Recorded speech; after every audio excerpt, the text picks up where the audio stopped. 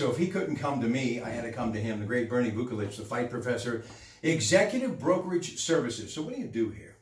I've known you all these years. I met your great staff, your son-in-law, Stephanie's wonderful husband, Brian, shooting this video. Congratulations, grandson graduating, as is my daughter, Sunday from Quigley. He, of course, Beaver High School, the home of the WPIAL Class 4A champions. So what do you do here? Well, I sit in this chair and occupy space. No, you don't.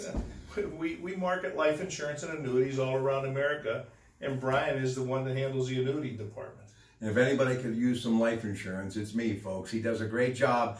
But we're going to come back to talk about what I really love Bernie Vukelich for. Obviously, our families, his wife Kathy, very close.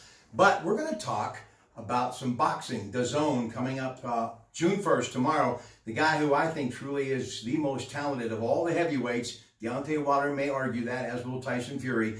But he has got a fight at Madison Square Garden making his U.S. debut. Anthony Ruiz Jr. That's coming up DAZN tomorrow. That's next.